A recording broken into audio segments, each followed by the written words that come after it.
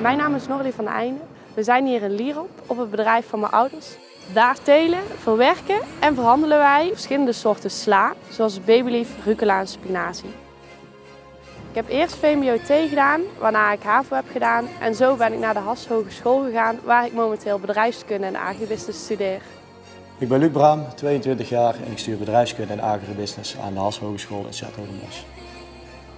Bedrijfskunde en agribusiness is een brede opleiding die zich focust op drie pijlers. Marketing, logistiek en financieel.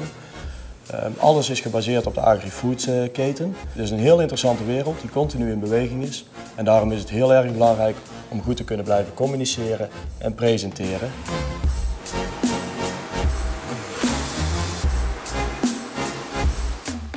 Als ik terugkijk naar het bedrijf zie ik alle facetten die ik op school heb geleerd terug in het bedrijf. Hoe de marketing verloopt, hoe het personeel en de organisatie vorm wordt gegeven, maar ook hoe alle logistieke processen plaatsvinden op het bedrijf.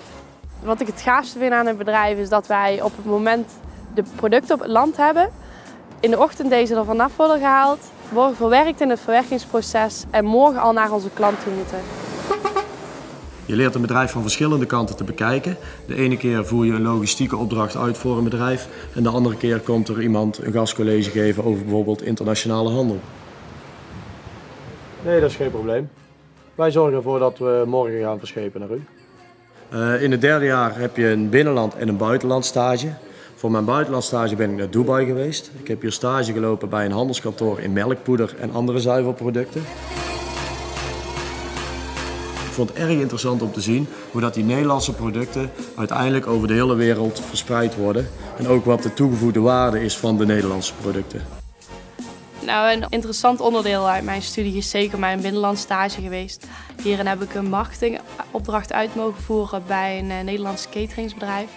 Hierin hebben we toegevoegde waarde kunnen creëren door middel van gezondheid. Op het moment ben ik aan het afstuderen in topklas ondernemen. Hierin heb ik de kans gekregen om af te studeren in mijn eigen bedrijf. Ik heb hiermee Global Agro opgezet. Hiermee uh, help ik buitenlandse ondernemers met het zoeken naar kennis, naar specifieke kennis in onze Nederlandse agrarische sector. Je hebt direct contact met de docenten. Naast dat je serieus met de docenten werkt, je, is er ook altijd tijd voor een praatje. Ik denk dat HAS afgestudeerden een uh, erg uh, praktische aanpak hebben.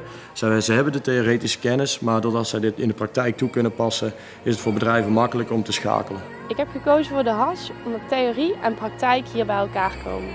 Mijn droom is om uiteindelijk een succesvol ondernemer te zijn. Met passie iedere dag weer opnieuw een mooi vers product op de markt te brengen. Te blijven innoveren en telkens mijn markt, mijn klanten te blijven verrassen met de gave mogelijkheden die de agrarische sector iedere dag opnieuw biedt.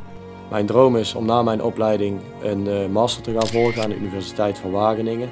Hierna zou ik graag bij een groot Nederlands internationaal bedrijf gaan werken om zo te kijken hoe we de Nederlandse agrarische producten wereldwijd kunnen vermarkten.